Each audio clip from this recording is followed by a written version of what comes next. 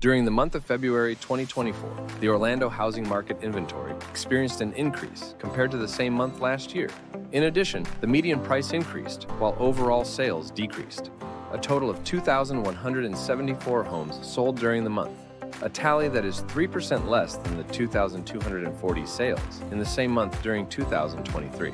The median price of an Orlando home sold in February 2024 was $377,000 which is a 5% increase compared to the same month last year. The limited number of homes available for sale in Orlando is still a challenge for buyers. Compared to the same month in 2023, the number of homes on the market increased by 55%.